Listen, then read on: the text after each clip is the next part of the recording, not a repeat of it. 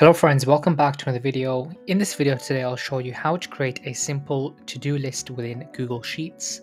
So every time you tick off a particular action, the bar will automatically update along with the percentage at the top.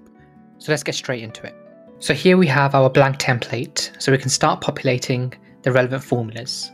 The first thing we want to do is add our checkboxes. So select the areas where you want to add a checkbox, then go on insert and simply press checkbox. As you can see, the checkbox are automatically added. Now the second step is adding our percentage at the top. Now we want this percentage to be dynamic, so the more actions we tick off, the percentage should increase. And the way we do that is through a COUNTIF formula. So simply press equals, COUNTIF, open bracket, select your range, and then comma, true. So true will mean basically whether a particular action has been selected. And now if I press enter, it will simply count the number of times an action has been selected. So in this instance, it's 3, so it's returning a value of 3. However, we want this to be shown as a percentage. So there's one additional step required in this formula. So at the end of this bracket, simply press divided by, count A, open bracket, select the range again, close the bracket again, and press enter. Now we need to change this to a percentage.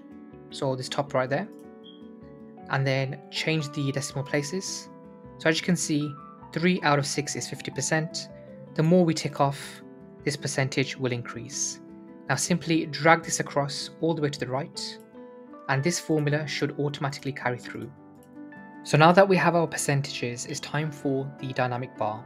Now to achieve this bar, we need to do a sparkline formula. And the formula is quite long, so I'll put it in the description so you can copy and paste it. But this is what it looks like. So if I select on this particular cell, and as you can see, I've expanded the cell size to allow enough room for the bar. Now I'm going to paste this formula, which is a sparkline formula. I'm going to press enter. As you can see, the bar itself at the moment is showing a 50% versus a 100%. Now, we don't want this to be manual, we want this to be dynamic. So what you need to do is rub off the 50% and replace it with your cell in your worksheet. So in my case, it will be this one here. And then I'm going to press enter. Now you can see that this bar is dynamic and linked to my percentage. So when I deselect this and change the percentages, the bar will automatically update. Once you've done that, simply drag it all the way across and the formula will follow through. So for example, the more actions we complete, the bar will increase in size. Now another handy trick is you can actually change the color of this bar. So you can see green at the top, Let's say we want this to be black. So I'm going to change that to black. Press enter and that changes it. But for now, I'll change this back to green. And as you can see, there's been a slight formatting error here as well. Simply edit that by selecting the entire box, going on your grid lines, on your borders, and then just selecting outside border. And that will fix it.